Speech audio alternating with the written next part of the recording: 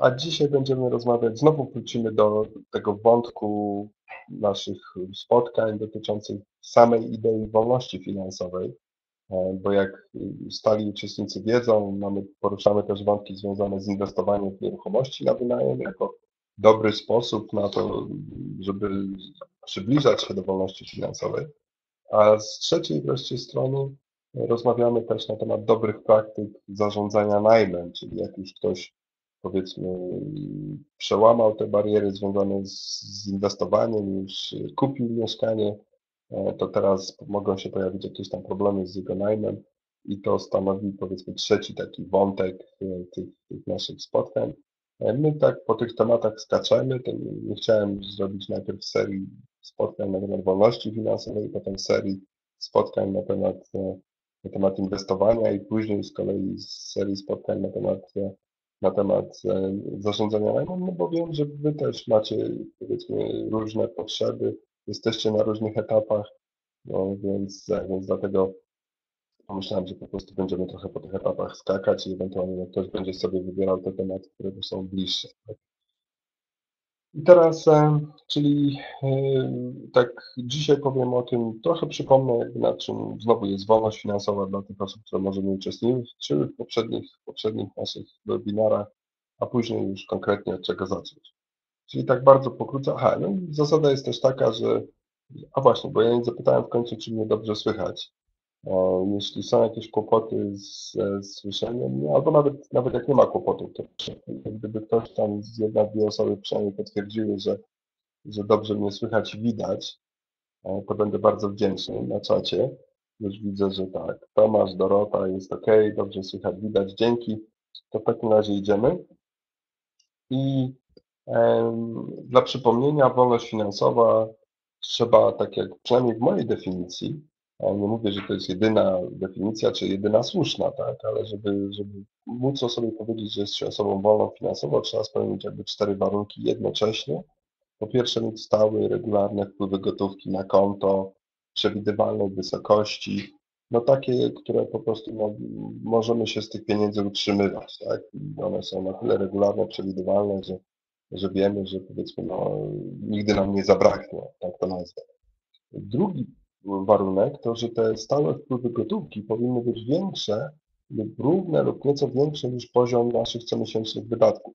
No bo jakby wpływało nam mniej pieniędzy niż to, co wydajemy, no to raczej byśmy się przybliżali do coraz głębszego zadłużenia i w końcu może bankructwa, tak?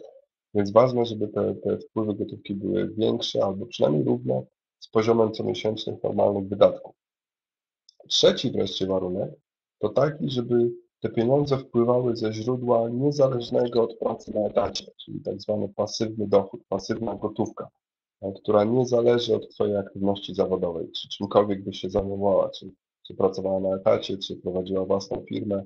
Po prostu to jest, właściwie to dopiero ten trzeci warunek Cię uwalnia w sensie finansowym, tak? No bo jeżeli masz stałe, regularne wpływy gotówki większe niż poziom comiesięcznych wydatków, ale z pracy, no to jesteś dalej pracownikiem i jakby jesteś uzależniona od tej pracy, tak? Znaczy no nie możesz swobodnie dysponować swoim czasem, sama sobą, nie możesz na przykład sobie gdzieś wyjechać na długo i się nie przejmować, tak? No bo okej, okay, można tam wynegocjować, prawda, z, z pracodawcą, to znaczy nawet roczny urlop, tak? I powiedzmy pojechać dookoła świata i tak dalej, więc to nie jest takie czarno-białe. Natomiast chodzi mi o to, że jeżeli to będzie ze źródła zależnego od Twojej aktywności zawodowej, to tak do końca wolno finansowo po prostu nie będziesz, tak?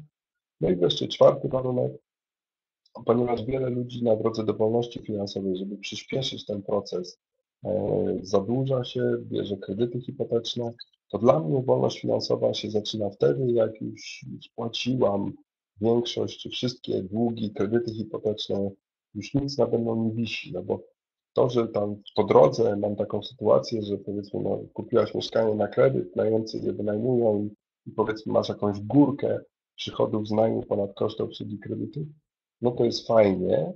Natomiast jeżeli jednocześnie wisi nad Tobą perspektywa spłacenia kilkuset tysięcy złotych kredytu, no to według mnie tak, ja bym się przynajmniej wolny finansowo do końca nie czuł, tak? No bo w jakimś tam stopniu jestem dalej zależny od, od banków, od kredytodawców.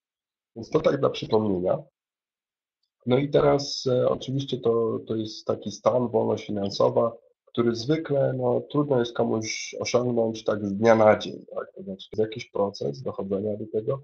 Raczej trwa powiedzmy kilka, kilkanaście, czasami dwadzieścia kilka lat e, powiedzmy może trwać, tak? dojście do takiego stanu, gdzie można spełnić te wszystkie cztery warunki.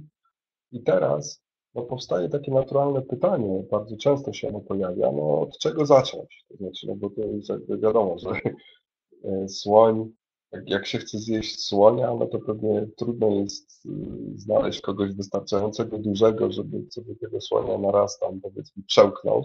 Tak, to, to trzeba, trzeba tego słonia zwykle podzielić na jakieś kawałki i powiedzmy no, od czegoś zacząć, tak? I pytanie od czego. I to jest tematem naszego dzisiejszego spotkania. I teraz